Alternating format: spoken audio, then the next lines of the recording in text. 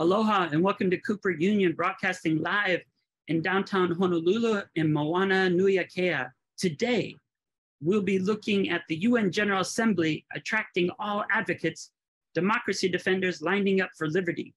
The United Nations General Assembly opening week attracts heads of state and foreign ministers to share values and visions for a better world. And the UNGA features activities and actions by civil society and countries seeking solutions. At the 77th session, the Super Bowl of Social Justice allows for people to participate from around the globe at the UN headquarters and in major venues across New York City. All issues and initiatives contribute to the global chorus for social change. Today, I'm joined by two activists who came together featuring important issues from Europe and Asia to look at what must be done to make the world a better place. Activists, advocates, and artists gathered together at the UN General Assembly to shape the world agenda. And these two are very much involved to contribute to this global chorus for social change. I'd like to welcome Bounthone Chanthalavong Wiese and Marcus Wiese. Thank you so much for joining us today. Bounthone, what was one of, why does Alliance for Democracy in Laos come to the UN General Assembly and what has been important so far in your history in New York? Hi, Joshua. Uh, we uh, from Alliance for Democracy in Laos. We were in, uh, New York City uh, by UN General Assembly. Why? Uh, we are an independent NGO from Laos. Or we are network um, global organization for human rights and democracy uh, defender for Laos. We have um, our event to um, inform in the world about situation in Laos, real situation like um, human rights violation in Laos, land rights problem in Laos, and so on. This problem we tell uh, for the people to know how is real, reality problem in our country. But the um, Lao government, they don't tell the reality in, Lao, in our country. As NGO, we can work with another independent NGO, international NGO together to tell every problem in our country, what the people don't have um, right for um, protection the human right and protection their right of land, protection the right of the country. Thank you, Bounthone. And Marcus, what have you seen so far in participating at the UN General Assembly for a couple of years now? And what were some of the highlights of uh, this week? Yeah, now we work for uh, some more years uh, at the United Nations uh, bodies. One of them is the UN General Assembly.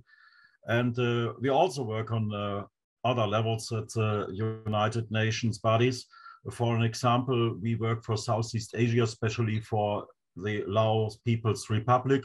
So there is one UN body at in Bangkok, and another one very important is uh, in Geneva. There are the human rights bodies, but the most important is, yeah, as mentioned before, is the UN General Assembly. This is a place where NGOs came together this year, virtual and in person. It was both. The virtual has started last year's uh, during the Corona crisis, it's uh, one possibility for people uh, to came together, but it is better to meet in person. We met them, for example, at the high-level dialogue and launch out of the Shadow Index 2022, or at the monkeypox outbreak uh, venue, or DEVEX 20, uh, DEVEX 777, SDG Action Zone has been, and many, many more. It is very important to came there, meeting the people in person, sharing ideas. It is not only to speak about problems in the area, it is speaking about results of our uh, researchers and uh, looking together for solution. At this year, the main theme was climate change. Got very, very good that climate change is in the focus of the several CSOs and NGOs. We know we have a big problem this year with the Ukraine war, and most of the governments are only looking on this problem. And we are here that they don't lose the view on the problem of climate change, of problems of poverty, of the problems of human rights issues. That is very important. And therefore, it is very good to building new networks between CSOs and NGOs and the various sessions and, and the various events at the United roundabout on the United Nations. Many, many venues has taken place this year, and this is really good. Yeah, we thought in the last years during the Corona crisis, oh God, where where will it move? Where where it uh, can happen in the future? But God heavens, we have managed the crisis. We are back, and we are here, and we speak about problems. We speak about solutions, and some highlights has been, for an example, the rally for the climate crisis sponsored by uh, Fridays for Future on last Friday. And uh, the last point has been the concert. It was very great to hear President Biden's speech. And from the other politicians, it was very, very good to hear that they hear our voice, that they recognize that we are here and it's so important to come back. Thank you, Marcus, for sharing highlights of everything that's been happening and what is going on. Really, it's exciting to see the UN General Assembly has actually grown into like a late summer version of Davos in the city that never sleeps. We see people coming to the Big Apple to take a bite out of it, to be able to share their voices. And Bounthone, it's exciting to hear that you're bringing the voice of the people of Laos, which isn't usually on the global stage and to make sure that maybe, let's say, the little mango of Laos is there at the Big Apple and that the people hear about what's important and what's going on in Laos. What's also significant, building on what Marcus has shared, is how many things happen. It's really moved beyond the heads of state and foreign ministers' speeches to really the space where ideas are interrogated, where initiatives are born, and where people come together to create new campaigns to make the world a better place. Some of those examples are the Goals House, where they turned the Tavern on the Green into a meeting place for all of humanity to come and share. Another was the fourth Goalkeepers event by the Gates Foundation. That was also important. And then the Clinton Global Initiative happened for the first time since 2016. What's significant about all of these is how people come and make commitments and then organize activities afterwards Bounthone, looking at what happened last week, what would you say was the highlights? Marcus shared about the index that happened there right at the church center across from the UN General Assembly that we attended on Tuesday. But what were some of the highlights for you? Would it be the Devex program that took place or a couple of the other major conferences where you were able to go and speak and meet with people from around the world who share common passions for a, to protect our planet. What was some of your highlights of where you attended and how you participated? Um, I think um, um, at uh, every event uh, give us a new idea to make something in our country, especially uh, to protection environment in our country. A new idea, we must strategy um, immediately now. Example, uh, we need a new project uh, against plastic in our country. Uh, we need project, new project for reforestation in our country, and on so on. It's very good even in the, in the New York City for us to know uh, how can we have uh, some um, project in our country. You know, um, the people in Laos they don't know how can we have even um, uh, projects. Why the government they don't tell uh, they, they don't give the right for the people. The people don't have independence to organize something. And the environment uh, in Laos is very uh, is too much distraction. The pupil must learn about new project, about new um, um, as a method to make something to protection environment and to um, uh, sustainable to um, some project. Thank you so much, Bounthone. And that's absolutely important. It's going there as a space where we get new ideas and you're able to bring some of those ideas back home to then share what's possible and to transform our own communities based on these ideas that are shared at Global Civil Society. What's really important as we go forward and look is maybe some of the ideas, Marcus, we could talk about what we looked at, such as the evening event that was focusing on climate change, climate finance, disruption, and you. It was exciting to see architecture taking a central role to be able to share how we can design the cities of the future that actually are based on biomimicry, that are based on nature based solutions, and also the important parts they shared about indigenous people's roles as protecting the planet.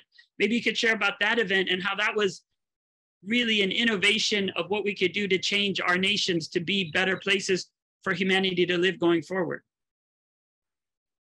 Yeah, that is uh, what we learned from uh, various uh, events. Uh, for an example, at the Nest Summit Campus and uh, at the DevEx UNGA 77, it was a year near the uh, United Nations, around on, on United Nations. We learned now it is time to act. We have spoken such a lot. We have discussed such a lot. And now we have the knowledges, we know everything. We have the resources, we have the money, and there is no excuse not to transform our world economy for the better future, for a 100% zero CO2 emission, for a better politics for climate change. There's no excuse. We got models from various states. For example, we have met with the Prime Minister of Tonga. It was amazing. It was so wonderful. Or uh, I've uh, met with the founder of uh, the Blue Planet Alliance, and he spoke about solutions. And he says it is possible, and we can reach the aims much earlier than United Nations has mentioned before not in 2050, not in 2045. Uh, no, we can reach the aim in 2025 in some states. And this is what we can see a, as a model for other states. We are the CSOs, we are the voice of the people, and we can bring it to governments and people and learn and teach people and learning from each other. Thank you, Marcus. And then that highlights one of the most important points that was addressed. Last year was a food summit, which was very important, focusing on food sovereignty and transforming our food systems. But this year, it was the United Nations Transforming Education Summit. And education, of course, is the foundation for the UN Sustainable Development Goals and for making the positive social change.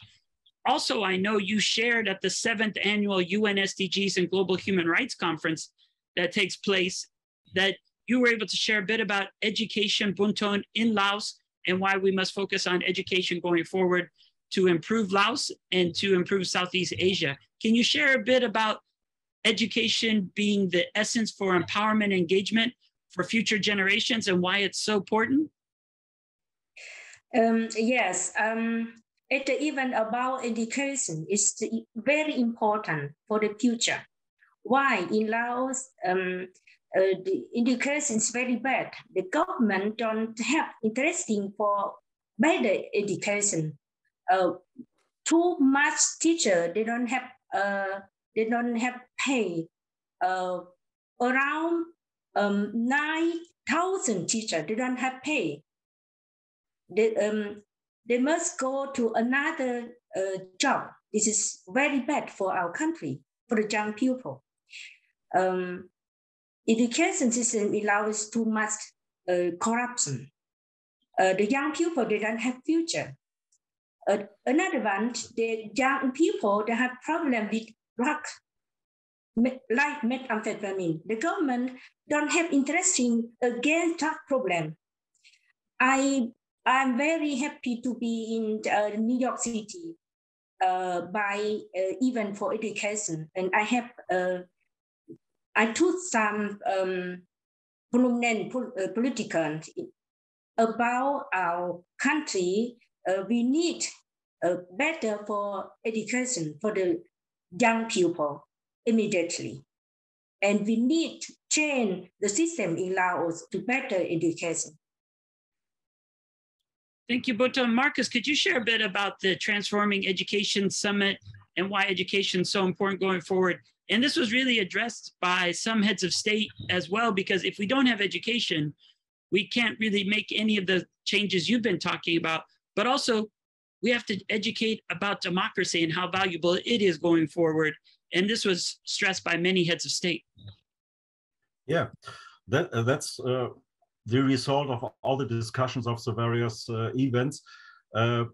Education is the solution for most of the problems. It is real, the solution. It is the solution for ending poverty. It is the solution for making better politics for climate change. It is making solutions for more democracy and human rights. It is a solution. And people has the knowledge. People knows what to do. It is not the question if it is possible. It is the question of the will. Some governments won't, and some governments will. And this is the difference. And this is what we say clear, clear and open. We want that the governments open their mind and sees that it's better for themselves and it is better for their land, it is better for the people, get them the education. It is not the problem. It can't be the problem of the financing of this education system in the country. Finances are there, funds are there, help is there, help by the United Nations, by CSOs, whatever. Yeah, it is possible and it is a solution on most of all our problems we have in this world. Thank you, Marcus. And it also reinforces what President Biden said when he addressed the UNGA. He talked about the UN, the Universal Declaration of Human Rights, as the standard by which our forebears challenge us to measure ourselves, talking about when this was adopted in 1948, human rights are the basis for all that we seek to achieve. But he also pointed out in 2022, fundamental freedoms are at risk in every part of the world. And that's one of the reasons why, of course, you come to be able to share about what's going on in Southeast Asia. He also did stand up with the brave people in Iran who are now demonstrating to secure their basic rights. And he made one point the future will be won by those countries that unleash the full potential of their population, where women and girls can exercise equal rights, including basic reproductive rights, and contribute fully to building stronger economies and more resilient societies. So, what's important is the US did commit, as he said, the US will always promote human rights and values enshrined in the UN Charter in our own country and around the world. And he did end this. This institution, guiding by the UN Charter, and the Universal Declaration of Human Rights is at its core an act of dauntless hope, an act of dauntless hope. So, Bounthone, I know you have hope, but I know you also heard the words of our good friend Henk Rogers from Blue Planet Alliance. You also have determination. What do you feel you accomplished this year, and why was it so important to be at the 77th annual UNGA opening week? Uh, I am very happy to be at um, UNGA um, 77. Uh, I have heard for um, speak from uh, President Joe Biden uh, about um, human rights protection. Every member of the UN must be implemented the Human Rights uh, Convention. Uh, this is uh, for Laos is very important. The Lao government they don't um, implemented the Human Rights uh, Convention from UN. But now I see that uh, the Lao government must um, implement it immediately. Uh, and I'm very happy to hear about uh, protection of human rights and for democracy, global democracy is a new word for uh, 2022 for me and for the world. I think uh, we need global democracy. Why? Um, um, um, the war in Ukraine from Russia this is um, the war uh, from dictator. The dictatorship must be end in the world. We must change the world for global democracy immediately, I think. Thank you, Bounthone. And, and that does stress the point of what was really shared was Ukraine was at the center, as Bounthone shared. And it was a time for the world to stand up to say that we must all support those fundamental freedoms enshrined in the Universal Declaration of Human Rights and stand up against authoritarian regimes that are threatening the peace and security, not only of their neighbors, but the whole planet. Marcus, why was that so significant this time? And why is it important for the voice of the people of Laos to be heard to also then challenge the situation such as in Iran and others because they're not allowed to exercise their voice? And why is it so crucial for you to use your human rights to be the voice for others who can't exercise those rights? People in Laos and around the world have to know that the Human Rights Declaration of the United Nations is the standard, it's the standard of the world. And every country who is a member of the United Nations has accepted, has signed it, and has to undermine under this rule. We have more human rights declaration. For an example, it's the European Union, it's the Asian states and some national issues, but they are all based on the fundamental UN human rights basics, what's standing there in the human rights declaration. So your country has accepted, so your country has to make it. There is no excuse. They have accepted. And this is what the people have to stand for. And President Biden has remembered us that the free nations has come together and fight for this freedom. And remember all the authoritarian states that they have to act like the human rights standards of the United Nations. The former Italian re representative at the United Nations has said it very clear. There is no perfect country in the world. We are not, you are not. But there is one difference. In some countries, you can say it, and in other countries, it is not possible to say it. That's the main difference. And I recognize that some ambassadors from some authoritarian states get some fun and want to hide their face and don't want to hear it. But this is the truth. And the authoritarian government, they don't want to recognize this, they don't want to hear this. That is a shame for them when they hear that something went wrong in their countries. The free countries, the democratic countries, no problem. We can speak open about it. And we know what we have to do better. So stand up for your rights. Democracy and freedom is possible and it will come slowly but truly. It will come when you want. Thank you, Marcus. And it also reminds me, looking at both of your comments, I remember the quote that was delivered at the Global Citizen Concert Festival on Saturday night in Central Park that democracy protects the planet. That was made by the Speaker of the House, Nancy Pelosi. It also reminds me of in our closing moments, there's a couple of side events, and those are more of events that happen in the evening, but are also significant. There was the Island Resilience Forum at the SDG Lounge that happened a meeting with Tonga that uh, Marcus shared a little bit but also the climate impact talks that took place at the Hard Rock Hotel. And of course, the Saturday event of the Global Citizen, which is really a global teach in where there's music with Metallica and Måneskin and Mariah Carey, Jonas Brothers, Cake at the Ocean, and everything. But there's also amazing speeches in between. Bounthone, what were some of the highlights of those Article 24 events, be it the SDG Lounge or the event at the Hard Rock Hotel learning about the Peace Boat mission and the youth or the Global Citizen Concert? What were some of those highlights where you could see the education was still going on and people were networking to make a difference at the United Nations, but also at home?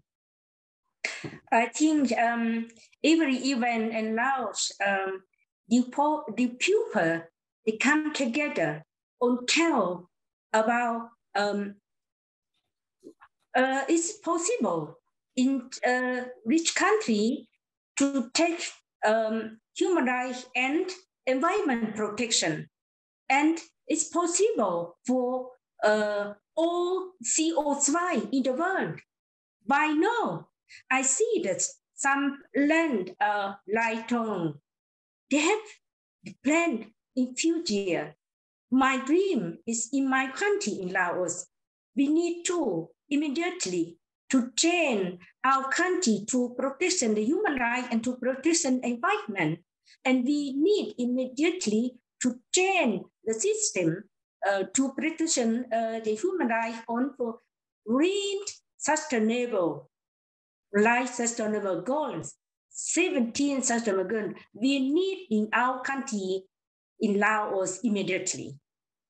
No, it's a really good point because, of course, in 2015, the UN global goals were adopted at the UN General Assembly.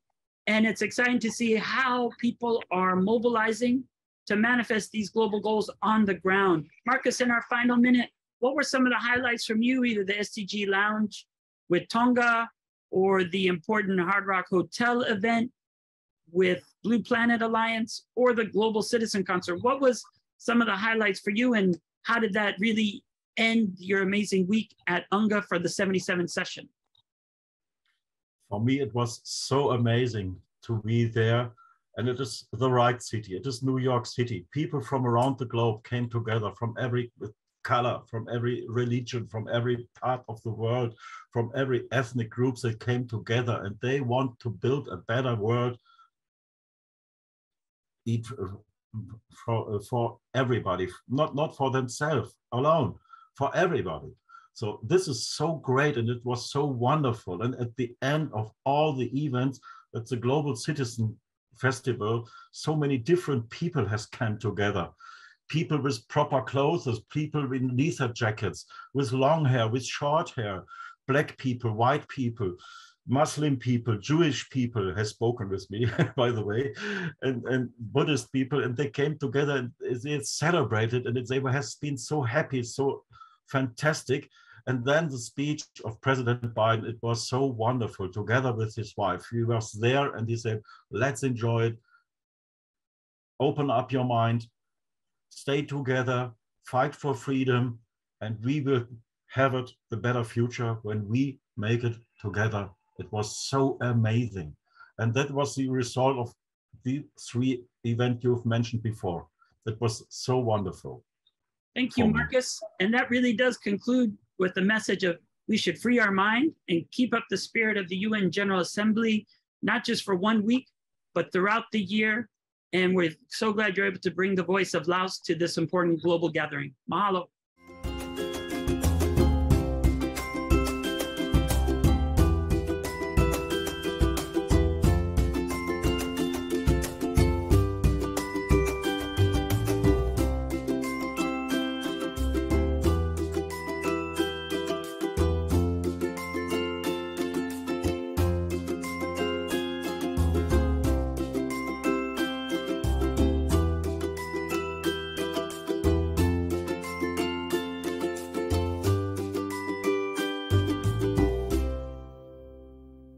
Thank you so much for watching Think Tech Hawaii. If you like what we do, please like us and click the subscribe button on YouTube and the follow button on Vimeo. You can also follow us on Facebook, Instagram, Twitter, and LinkedIn, and donate to us at thinktechhawaii.com. Mahalo.